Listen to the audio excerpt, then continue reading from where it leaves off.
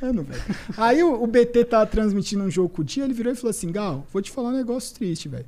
Isso é gravação, porra. Não é possível, velho. O cara tá. Ele sempre tá no mesmo ambiente, tá sempre animação. O cara tá sempre desse jeito, é impossível. Esse maluco é gravação. Pá, 10, 15 minutos depois, entra a Fancam, ele tá lá com a câmera dele, e aí ele escreveu, porque eh, num papel, sei lá o que, que ele fez, não é gravação, BT seu comédia. Tirou onda, Tá ligado? Aí eu virei e falei assim, mano,